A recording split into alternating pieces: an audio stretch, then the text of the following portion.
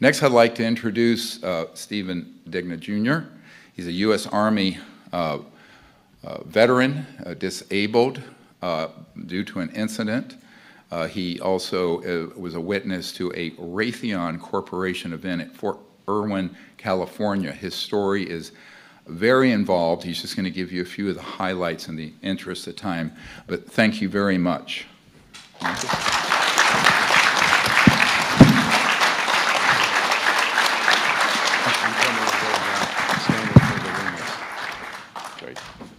Good afternoon, everyone. I'm going to look down and read this. Uh, I have a brain injury, uh, so it gives me problems. So I apologize.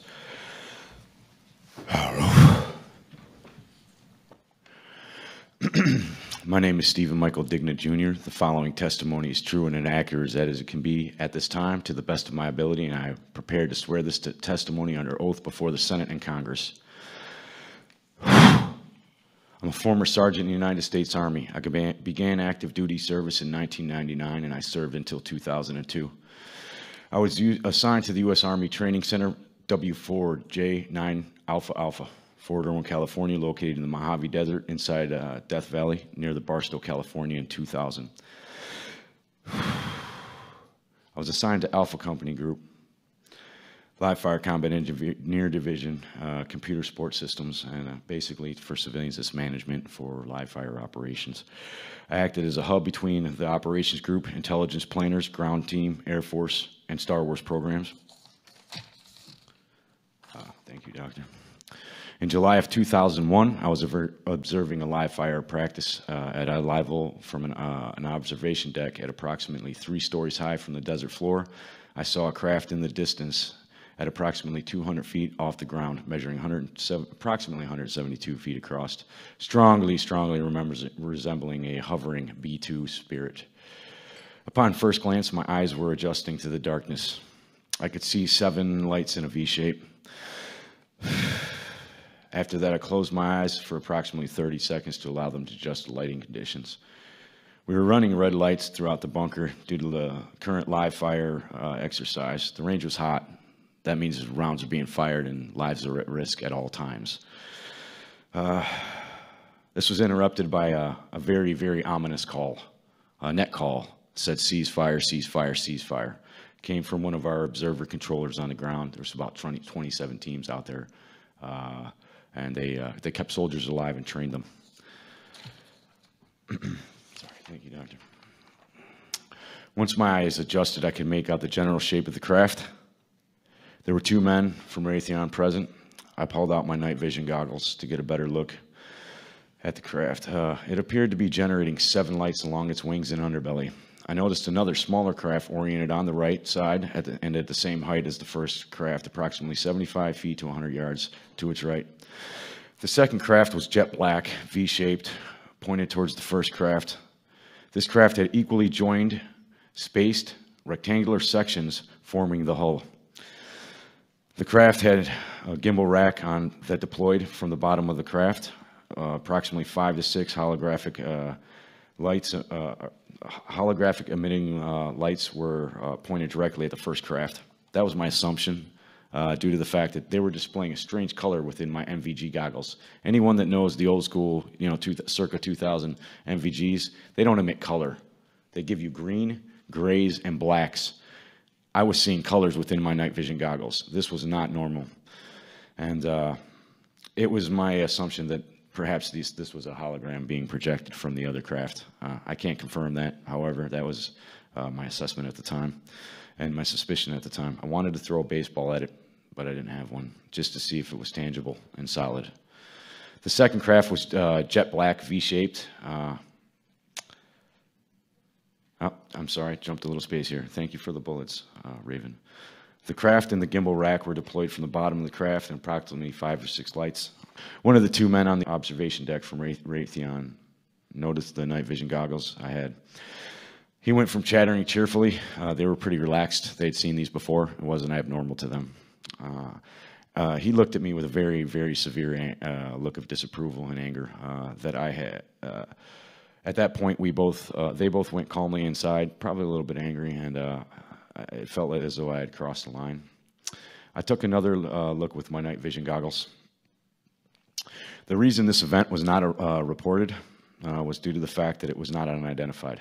I'm going to repeat this very clearly to the cameras. This craft was not unidentified.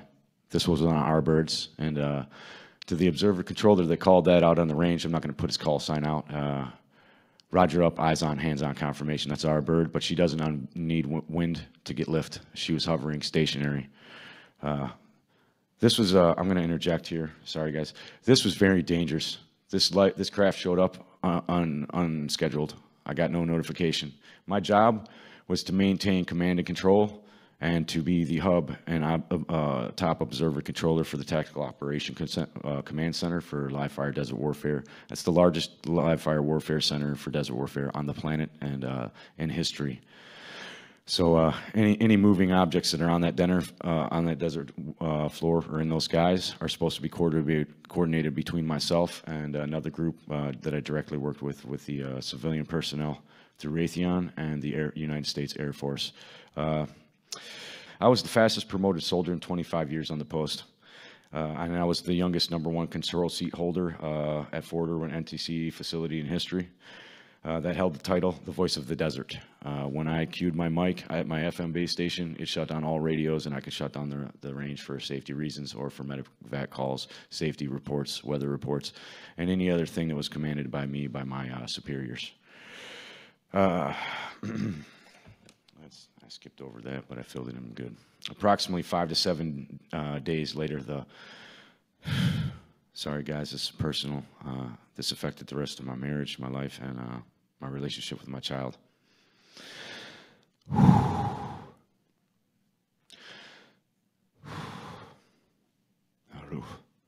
Approximately five to seven days later, the following incident took place on Fort Irwin Road. It's the one road leading uh, into the base during the weekend pass after the show.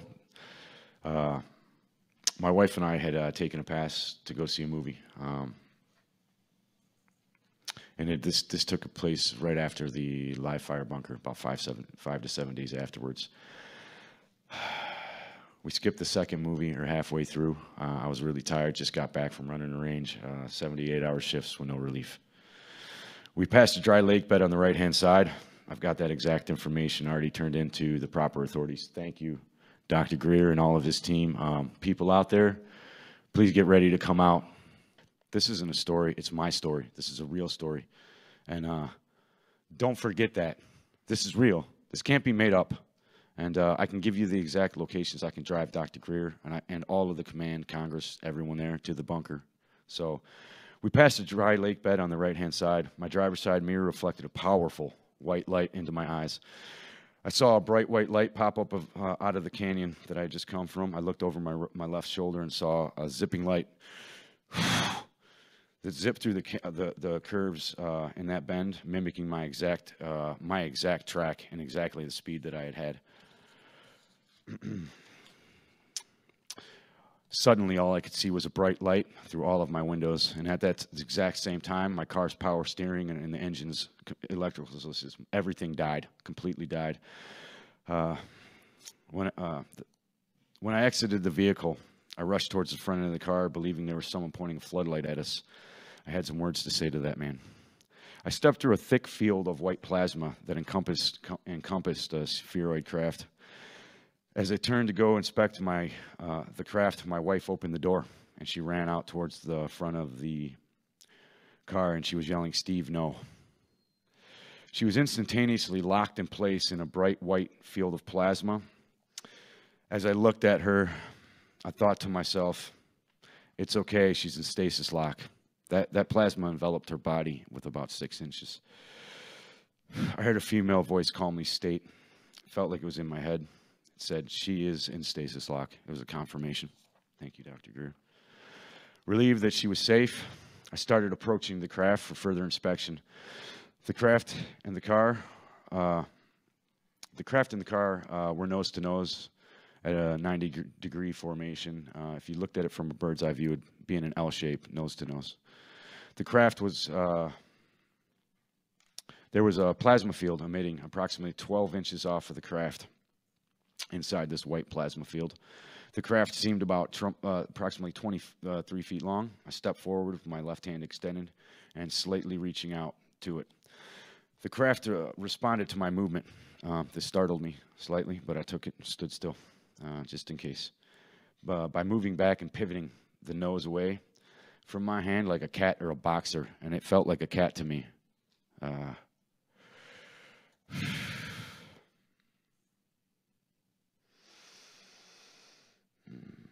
Okay, sorry, lost my place. The exterior looked like uh, polished black onyx. As I approached the craft, I noticed ambient temperature, not hot or cold. Uh, I kind of leaned down and touched the craft, and as I swiped my hand up the craft's starboard side, uh, also towards the front of the craft, uh, it was as smooth as glass. However, when I drew my hand back towards me, it felt like shark skin or a cat's tongue. That was followed by a reaction. Um, the reaction followed my hand, and uh, as I Oh, it, it's slightly off here. Uh, so I'm going to have to do this with my hands just to describe it for you. As you can see here in the uh, the, the picture, I, I put my hand on the craft like this, and I kind of pushed my head forward. I can't do it here because of the mic, but I wanted to swipe my hand up and look at it like I was planing a piece of wood.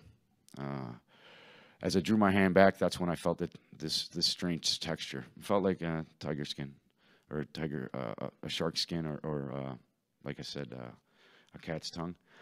As I drew my hand back, uh, pixels jumped off the craft. Uh, they were like micro shavings. I would call it, they, they, they resembled graphene or magnetite shavings and uh, nano, nano-sized particles. As I did that, and as I swiped up first, uh, I guess to get back to that. As I swiped up, the craft emitted a tiger stripe pattern up the, up the starboard side of the craft. As I drew my hand backwards, the pixels popped up and as I did, the craft purred. It bellowed through my body. I could feel it resonate my body cavity. And uh, it was very intense. I felt like I was in contact with a living creature. Yes, sir. Uh, the reaction, uh, okay, I'm already done with this. Thank you.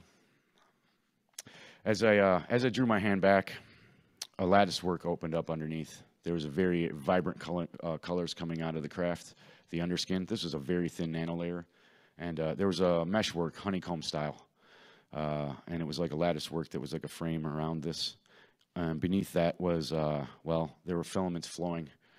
They looked like a neural network. Uh, there, I, I, tried to see any any any uh, universal bus system or any computer systems as the analyst job that I had. I saw none of this. Uh, as I drew the hand closer to myself, trying to peer through all these bright, wicked, beautiful lights that were pinks, blues, and every light color you could think of in the spectrum. Uh, I wasn't able to see anything through it, so as I drew my hand this way, I kind of pressed off the vehicle. The vehicle was stable. I mean, this thing was locked in position. It's not like Star Wars when you jump off of something and it moves. This thing was solidly locked in place, solid. I seen a shape right here under my through my elbow uh, as I as I leaned my face down, and I could see up into the sky above my car a mirage which was like a silhouette or a heat foil on the road. And uh, the the stars shimmered in a straight line, and, in a very long distance there was a curve. So it looked seemed to be curved. Either way, right when that ripple hit in the sky, uh, the stars then refixed back into place. I realized I was looking at a cloaking device on a very, very, very large craft that seemed to encompass the whole desert area that I was under. Uh, at that moment in time, I then uh, I glanced and panned my view just to try to get the, you know, uh, fathom the dimensions of this craft. And I saw a giant white, bright white light uh, floating in the sky. And it was a hangar bay door opened. Uh, couldn't see doors. It was just a bright white light.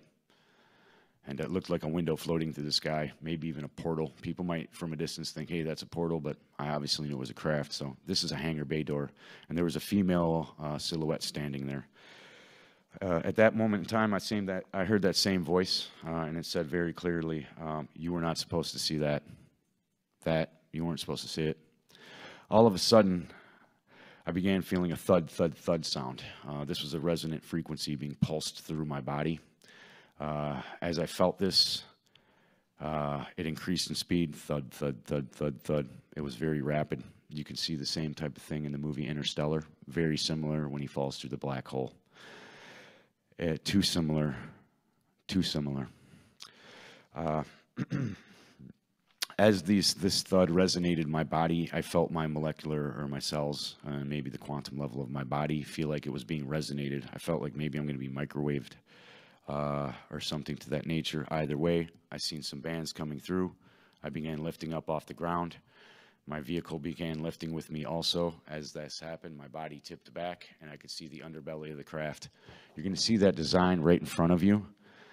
Uh, this the rectangular shape right in the center there looked like a docking socket for an electrical port. If you're going to take a you know a big big big uh, uh, male end, um, this would be the female recepting, receiving end uh, for an electrical charger. Uh, to skip through that, there were some very, very, uh, there's some highlighted uh, parts here, um, and as you can read them there, I'm going to let you read that for yourself, just for time's uh, sake. Uh, however, as this happened instantaneously, I cued in, and I was flat on my back, and I was staring up at the ceiling, and my vision cued into a very, very bright white light. My vision panned over, and there was my wife flat on her back on a table. It was smaller than the table I was laying on, slightly lowered, and she still had the same exact expression on her face, like she was screaming no. However, however, she was no longer stuck in the running position. She was flat. As I panned a little, a little more in front of me to kind of gauge where I was at, and this all happened in milliseconds, guys. This was whole crap, um, what's happening? So this is a very short encounter here. As I panned over, I saw my vehicle with the right the right uh, passenger tires end uh, lifted up. I saw some people in some white suits, fully fully garmented masks with some breathing apparatuses. Uh, they were working on the vehicle. Slightly next to that was a strange blue rack that looked like it could have been an automotive rack. Could have had another purpose. That was my quick assumption. As I as I oh yes sir. Uh, thank you sir. Uh, yes, sir. So uh, after that had happened, uh, I saw a female right next to me. She was taking some samples from me. It was a human female. She had red hair. Uh, she had very fair skin. Uh, and uh, after that moment, I also, as I panned over, I could see the window and the desert behind me. I realized we were not in space. I could see the desert floor. I could see the exact two rock formations and one far off in the, in the distance. Uh, so this is pinpointed by, by GPS coordinates. So uh, after that, uh, I panned a little more over, and as I seen this open up, uh, and the bay, the bay door behind her open, or maybe just transparent, and I could see out. Uh, I, I also seen that craft right here docked in the ship, and that came through me after trying to get these schematics down on paper while talking to Michael Scratch. So thank you, sir. This man went through PTSD with me. So thank you, doctor. Awesome. You're, you're great.